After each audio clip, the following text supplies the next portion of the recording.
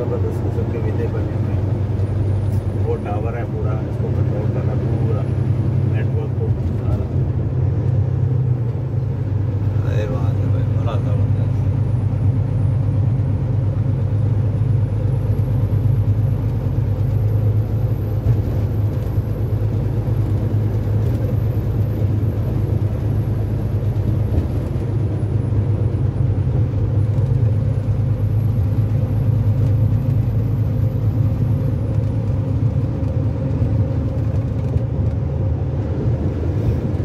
ये देखिए इंजन सारे के पूरे इंजन है ये देखो और ये मालगाड़ी पर ट्रेन के इंजन देखे लाइन में लगे हुए एक एक मालगाड़ी को पाँच पाँच इंजन लगाते हैं।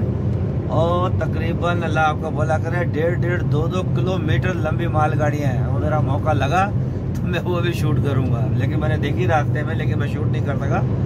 करूँगा उसको भी। ये जो मैंने आपको बोला था कि एक्चुअल अमेरिका दिखाना है, वो मैं कर रहा हूँ। ये ट्रक जो जा रहा है, ये अमेरिका की साइड पे जो बाकी जो है ना, उस तरफ़ जो है ना, वो मेक्सिको है सारा। अच्छा, ये अच्छा, मेक्सिको अच्छा। पहाड़ी के ऊपर जो है ना मेक्सिको ये फेंस लाइन लगी हुई है ये वाली। ये ओके। जिस तरफ़ अमेरिका है वो काली फेंस है ना उस तरफ़ न्यू मेक्सिको है। सही सही। अरे तुम्हारा रिकॉर्ड हो गया मैं इसको ये- करूँगा ये। ये वाली ये हाँ। ये देखे ये ये। जो वे लोग पास कर रहे हैं अभी भी मेरे दोस्त ने बताया। लगी है। हाँ हाँ। इस तरफ़ अमेरिका है और फेंस के उस तरफ़ जो है ना न्यू मेक्सिको है। तो आप यहाँ देख सकते हैं बिल्कुल हम बॉर्डर के साथ साथ जा रहे हैं। तो आप जरा चेक करें ये सारा उसका ये सारा। जिस लाइक पाकिस्तान स्टाइल देखिए छोटे छोटे घर बने हुए हैं वो सारे। वो मेक्सिको के ये फेंसेस के दूसरी तरफ़ जो है ना मेक्सिको है और हम लोग इस तरफ़ अमेरिका में। हाँ, रोड चल रही है। मेक्सिको बिल्कुल पाकिस्तान की तरह छोटे छोटे घर हैं सब कुछ है। तो बड़े छोटे से फेंसेस लगा हुआ है। हाँ, छोटा सा फेंस लगा उधर से दिखाते होते हैं वो जो इतनी बड़ी बड़ी दीवारें लगाई हैं वो कहीं और लगाई हुई हैं। और भी होता है बहुत सारी जगहों पे लगता है ना बॉर्डर हाँ ये तो बिल्कुल ही सही है। ये बहुत इम्पोर्टेंट चीज़ अभी इन्होंने हमें दिखा दी है जो शादो नाजरी जो कोई देख पाए। बिल्कुल फेंसेस बीच में लगे हुए हैं उस साइड मेक्सिको इस साइड अमेरिका और फ़र्क भी आपको नज़र आ सकता है कितना ज़बरदस्त फ़र्क है उधर और इधर में।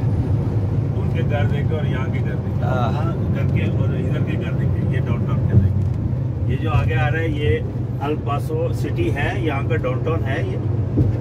और ये बिल्कुल मेक्सिको बॉर्डर के साथ है सिटी आधा उस तरफ़ है आधा इस तरफ़ आ रहा है।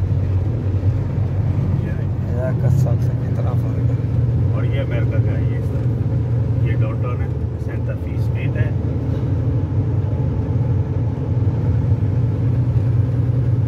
देखो जी, एक के फ़र्क के बाद कितना फ़र्क है दोनों जगह में, दोनों मुल्कों में, दोनों की क्वालिटी ऑफ़ लाइफ में। कितना बड़ा डिफरेंट है। ओह हो हो।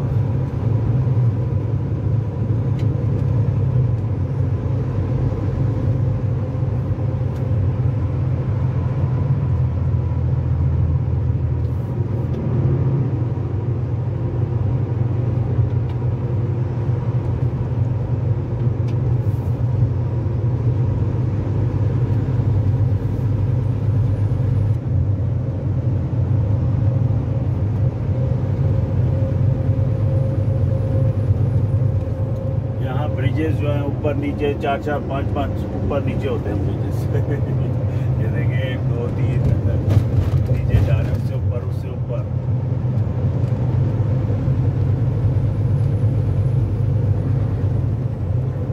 बाज लोग तो ब्रिजेस में गुम हो जाते हैं, समझ ही नहीं आती उनको जाना किधर होता है।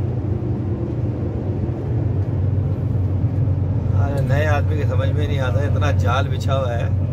कि कौन सी तरह जान अक्सर बेचता जो है ना जीपीएस पे भी गलती कर जाती है। जीपीएस तो काफ़ी नहीं करता, तीन चार जगहों पे वो एकदम से गलती हो जाती है। सर पे आप रख लेते हैं